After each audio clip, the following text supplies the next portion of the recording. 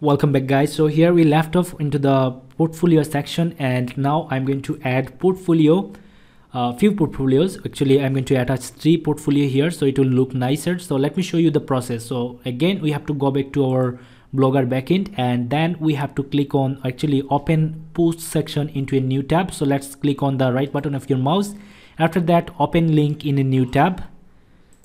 And it is just being opened here and after coming here you have to click on new post or you have to give a post title and then post description. And if you want to add image then you'll be able to add them here as well. So let's just do that. I have already made some uh, portfolio ready here.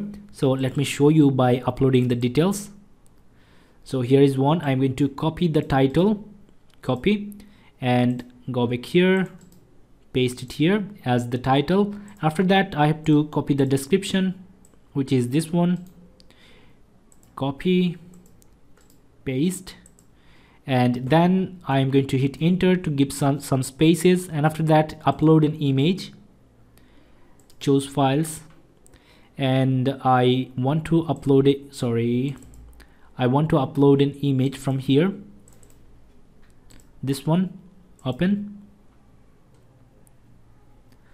now select the image add selected and we can give it to original size. Click on publish.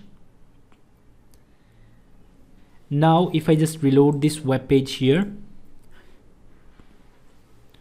we are going to see a portfolio has been added. Now if someone clicks on here they are going to see our portfolio and other details. All right? So now let me add two more so that it will be look nicer. So let's just move back here in the in this section which is um, from posts. All right so click on new post. After that i'd love to upload the details from from um, here again. All right facebook page. This this is the file. I'd love to put information from. So copy the title. Copy title and paste it. And then I have to copy these texts from here to our website and hitting enter to give some spaces and then image icon up choose files and go back to the folder from where you want to choose the file or image then click on open select the image and click on add selected click on the image click on original size click on publish. Same thing let's do this new for a new post and let's go back to the website again or actually the folder again. After that this is the last post which i'd love to add. So here is the title. Paste it here. After that i have to copy these parts. There's a demo text. And hitting enter to give some spaces. After that click on this image icon. Click on choose files and select the desired folder or desired uh, to select the desired image. So let's click on open.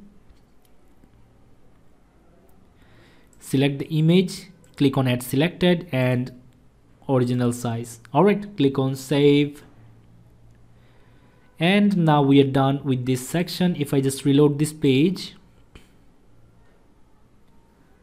we are select seeing some portfolio information added here portfolio works added here so now if i just take you to the top of the page here is our website how it is looking like. All right and now it's time to work on these get a free quote and these sections and let's go to the next video for this part